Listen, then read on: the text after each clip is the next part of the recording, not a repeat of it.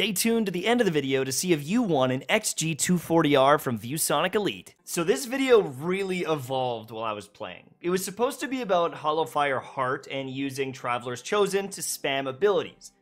But honestly, Hallowfire Heart uh, is incredible on its own.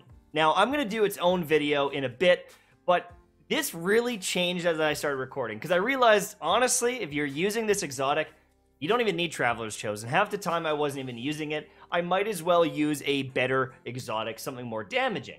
I don't care what it is, uh, Witherhoard, or Anarchy, or what. But honestly, I'd be happy with just this old-fashioned, I don't really care. But then it evolved from there, because I started to realize, man, the, uh, the Sun Warrior, this is a great little ability. When you create all these different sunspots with your melee ability, with your grenade, with your super, uh, Sun Warrior kicks major ass. Like, super good. And then it re- I, I started realizing, well, what if my entire team could have Sun Warrior, right? Sun Warrior increases your damage, your weapon damage, right? Your your ability cooldowns. And uh, and then I started looking around for exotics, and here's a little exotic that not a lot of people use. No one uses this exotic that I know of. I never hear anyone hyping this up, but Phoenix Cradle. Boys, Phoenix Cradle is nuts. Okay, so typically Sun Warrior lasts for 5 seconds. If you run through a sunspot, you get a timer for 5 seconds. However, if you stand in the sunspot, it doesn't have time to tick down, right? So it will keep going the whole time. Now, when you use Phoenix Cradle, you get 10 seconds. So you can run around here, go all the way around the map, continue to get amazing cooldowns, and you're still getting that. And as soon as you get within range again, you're going to reset that cooldown to 10 seconds. Now, what this means is if you are playing something like a strike, between all of the enemies spawning in and making your way through the strike, you can essentially keep Sun Warrior up active 100% of the time. And if you do pair it with something like Traveler's Chosen, and for some reason you run out of a cooldown, well, then you just use the Gathering Light from this to get your Sun Warrior, or your abilities back to proc Sun Warrior again. It is an endless chain of fire, of destruction, of getting these amazing cooldowns, but now you share it with your team. And so they can spam abilities. They can get Devour proc, they can use uh, friggin' Arc Strider abilities, I don't care what it is. They don't have to be on a solar subclass. They don't have to be using Hallowfire Heart. They don't got to be using a Titan. They don't got to be using nothing they're just to get some crazy cooldowns along with you. So uh, let's see this in action. This, right? We're killing these enemies, getting these sunspots going. Now my teammates are going to run through this naturally, right? They're going to naturally go through here. I can super here if I want to super. I don't need to keep my super like Hallowfire Heart. I'm creating these sunspots. Now here's the thing. If my team decides to super, if my team decides to super, their super is going to get extended as well. Okay? And that is a beautiful thing. Now, for some reason, they're not following me and doing anything. Now we've got Sun Warrior. Okay? We're killing. We're killing. We're getting this. And now, we got our grenade. So we huck a little grenade down. And we start getting more Sun Warrior. Okay, we got 10 more seconds of Sun Warrior. Everyone on my team is Sun Warriored out of their damn skull. Oh, oh no, there's so many thralls spawning in. Why don't I just punch one and get more Sun Warrior? if my team would follow up behind me, they would get all these cooldowns as well. But it's just like a constant spree of Sun Warrior. It's a trail of Sun Warrior, and everyone gets to benefit. By the time I get over here, we got more Sun Warrior. it's it's it's so good. Like it's actually so good. It's incredible. More, more, more, more, more, more, more, more Sun Warrior. Gimme, gimme, gimme, gimme, gimme. I got damage boosts out the yin yang.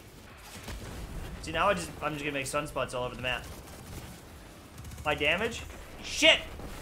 But look at it. Oh, what's that, a, a re little refresher?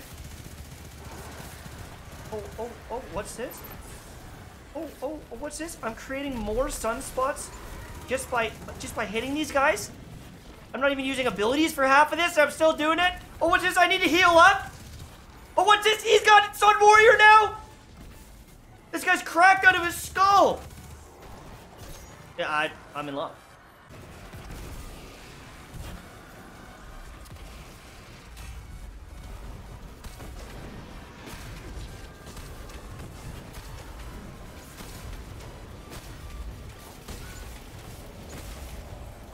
See, that guy's going up there now, and he's going to have Sun Warrior.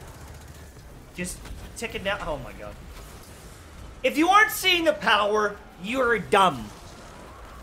Did I die to that ogre? Yes, because I thought he was dead. But if you don't see the power, you're dumb.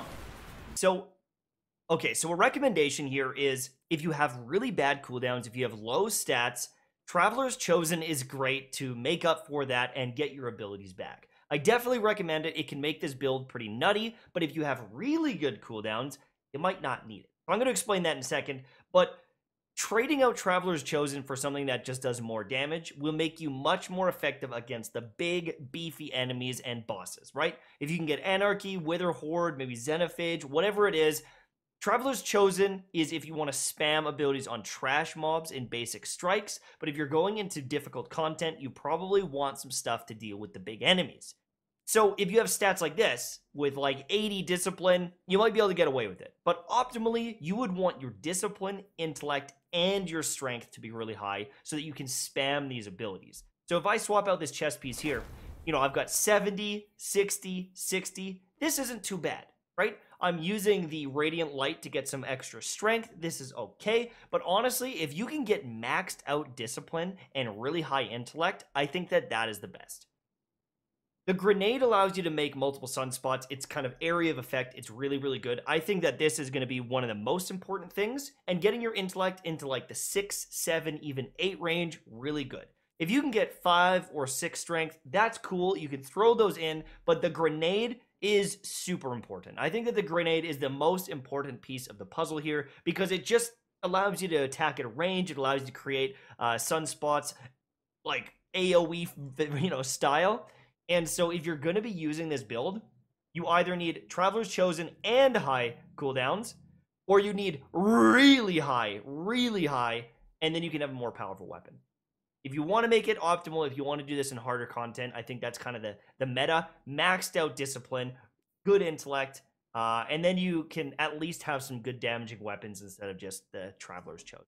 With a coordinated team, especially if you're at the front, kind of pushing in, using Sun War, using those abilities, I think that this is incredible. I think you could even use this in some Nightfalls down the road if you're, you know, going for that big wave clear, if you're trying to take out some enemies, if there are a lot of solar enemies. I could see this being good there are a lot of trash mobs uh, in Nightfalls. You know, you got to deal with your champions and stuff, but being able to spam your abilities is super valuable, especially if people are running things like Devour or maybe they've got some empowered grenades. There's a lot of value here, and the way I'm looking at this is if this impacts the stasis subclasses that are going to be freezing and shattering, you probably want to spam all those abilities. And so to have access to this, it might be meta uh, in the new season, right? You have one person running Sun Warrior, the other people are freezing and shattering, and it could be it, it could be amazing. Uh, so we'll see. Anyways, that's pretty much it for me though, guys. Phoenix Cradle's awesome. Uh, in PvP, it's you're not gonna get as much effect because you you'd have to be really grouped up and following it through, and uh, you know it can work, but this is a very PVE oriented exotic, and it is way better than I thought.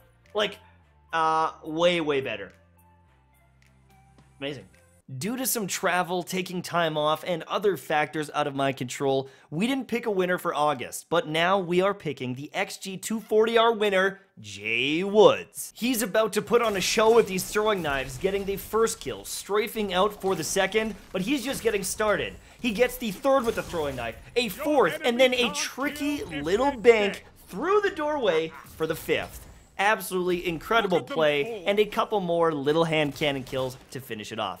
Jay Woods, congratulations on winning the XG240R for August. Now, if you want to win for September, make sure to send in your clips. Send your best clip to viewsonicplays at gmail.com. But please, for the love of God, describe the clip. Tell me what I'm looking at so that I don't have to go through a thousand emails. I have hundreds of emails with the exact same title, my clip, and I don't know which one's going to be better, so it's hard to download all of them. Describe your clip, enter to win, and thank you ViewSonic for sponsoring this video. If you guys are interested in getting your own ViewSonic monitors, the XG240R is the monitor that I started with, and then I upgraded to an XG270QG. These are amazing monitors, amazing build quality. You should check them out. Links are down below. Thank you so much. See you soon. Bye-bye.